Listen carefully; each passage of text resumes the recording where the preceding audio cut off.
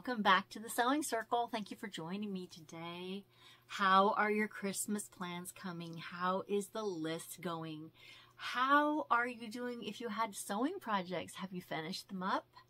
I, for one, have not. We have experienced some things in our family recently that we've been dealing with. And so all of my sewing got on hold and I am now trying to get back to it and get caught up. And I'm also pivoting away from plans that I did have that there absolutely is no more time for. Um, today I want to talk to you about how to shop for the seamstress in your life. And uh, I wanted to hear from you. How is your Christmas going so far? Your week before Christmas? Do you have last minute shopping to do? I sure do.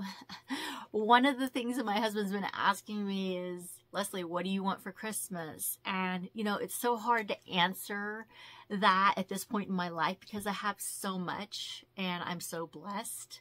Um, as you well know, I've bought plenty of fabric in these past few months and I have plenty of patterns to play with and pretty well have all my supplies. Um, I still have not had the time to get my new sewing machine up and running, but um, I will let you know when I do. So one of the things I love to get for um, Christmas is books and magazines. And, you know, they sell so many nice books for the seamstress on all kinds of subjects, whether it be, you know, making your own stuffed animals to quilts, um, I'm going to show you one of the things that I love to get. And I guess it's because it has a magazine and patterns inside. This is um, the Simply Sewing Fresh Ideas with Fabric 4-in-1 Mega Pack. Now, because we live in the United States, we do not always get four in this pack. This pack comes from the UK uh, and can be purchased at Barnes & Noble. Now this is not this month's pack. I have not gotten in there yet to pick up this month's pack, but inside, I will show you, oh dear, I'm ripping it.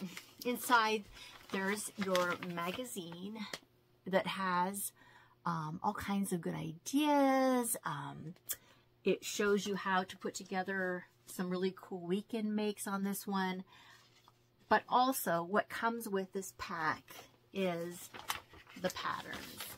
And inside that magazine are like instructions and uh, a go along with each of these patterns that, that comes in the packet here. This one is really fun. I love it. There's lots to see inside here. So if it's something you're looking for something, a stocking stuffer, uh, a gift for the seamstress that seems to have everything, check out Barnes & Noble and see what this month looks like. Now, new seamstresses, old seamstresses, we love our little notions. And these little clippers are one of my favorite things to use when I'm putting together uh, any kind of fabrics, whether it's a craft, it's quilting, whether it's sewing a seam. These things are so handy to use in the sewing room. I have mine in this little green keeper, but they came in a bag from Amazon, which I'll link below clippers is another item. Now, are you a person that quilts? Is your person a quilter? Do they love to put together all pieces, all manners of pieces? Of course, everyone knows that we love our rulers when we quilt, but also these things are fantastic for actually just cutting fabric straight for putting together outfits and uh, clothing items. I love my ruler. Wouldn't, wouldn't live without it. And along with it is my rotary cutter. Now, I don't know if you've seen Joann's been having sales on scissors, rotary cutters, their blades, the rulers. These things are things that you want to have in your sewing room when putting together quilts and things. And, you know, if you're looking to buy something for someone in your life, this is a great thing to get. They come in sets even with a cutting mat because when you're using your ruler and your rotary cutter, you want to use it on a cutting mat. Now I have a bunch of stocking stuffers and this was actually gifted to me. This is the Sew-Lutions by ArtBin and inside of it there is a magnet. You can see that I have some pins stuck in there to show you, but um, this is fairly new. I haven't got to use it a lot, but I love it. This is a great little item to put your pens in, to take it with you someplace. I've already used it, taken it in my sewing case with me when I wanted to carry a project around and wanted to have pens and other notions available. This is an awesome little stocking stuffer. Uh, this I think this can be purchased on Amazon. I will link it below. Also, these little little fingernail files what seamstress doesn't love just a little notion that um, actually isn't a notion, but uh, a little stocking stuffer that has their sewing theme on it. Another idea is all manner of fabric markers. Now I have everything here from a permanent marker to a ace pen fabric marker to a marker pencil. We need these in our lives. When we're sewing, we need to be able to mark things. We need disappearing ink. We need things that are clearly going to show up on a dark fabric like this white pencil. And we need sometimes something permanent like a permanent marker. So these are great little items to pop into a stocking needles. We all need needles, and this one comes with a little needle keeper, which is a magnet that sticks to your sewing machine. I love these. I'm obsessed with these. They're so cute, and what a great thing to pull out of your stocking, right? Now, here is also a pack of needles. This is like an old-fashioned um, needle keeper. It opens up and a bunch of needles inside that. These are the kind of things that are fun for seamstresses to open up out of their stockings or to attach even to a little package as just a little something extra attached on the outside. now, I don't know if you've ever seen these, but these, oh, I have these all mixed up. These are magnificent. these are little pullers for making bias tape and I use these all the time when I'm making my bias tape. You feed your, your fabric strip through there and it folds it and makes it so that you can press it and use bias tape that matches whatever you're making or the colors that you want um, your bias tape to be. And this one comes in a really cute little case with little sewing machines all over it Another handy dandy, you don't want to live without it, is Fray Check. And you know I stand behind Fray Check. This is something that you could put into a stocking as well. Um, you just use it along the edges of fabric, um, something you don't want to fray out, and it will bind the fabric so it doesn't fray, but it will not make it shiny, and it will not show up when it dries. I absolutely love tags. And these ones are so cute. cute. I got these at Hobby Lobby. Um, one says with love in every thread and one says stitched with love. But you can also order tags online and even have personalized tags made um, by ordering on Etsy and other sites where they sell tags.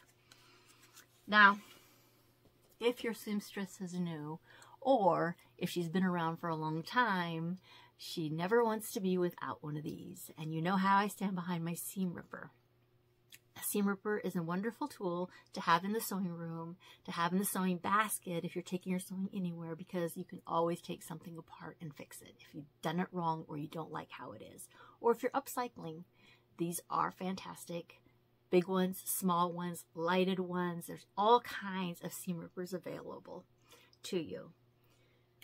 Now, those are my ideas for Christmas. My Christmas wish list is Tula Pink fabric. And so I filled a cart with the Tula Pink fabric that I wanted, sent it to my husband, and he ordered it for me for Christmas. So I do know what I'm getting, but I'm getting what I want. Um, if you're not familiar with Tula Pink fabric, um, you can check it out here. I'll put a link down below.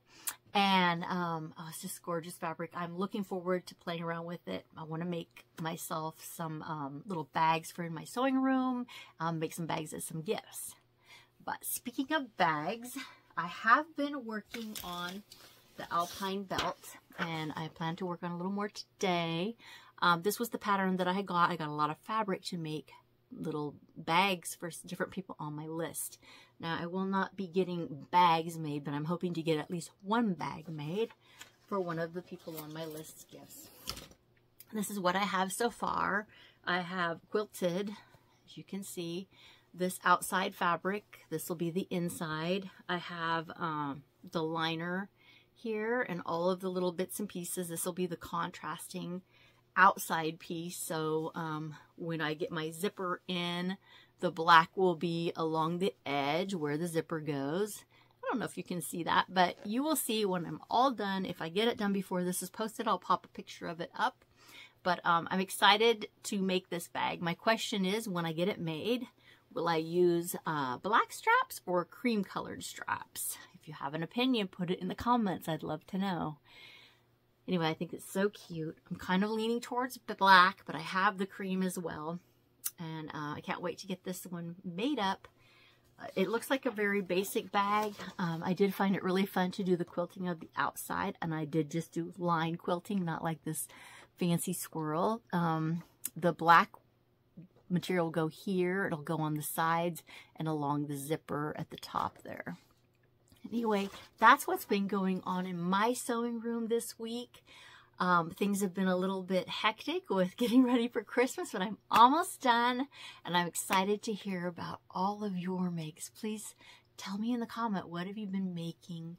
What have you been up to? Please like and subscribe. Um, Merry Christmas and I'll talk to you soon. Bye.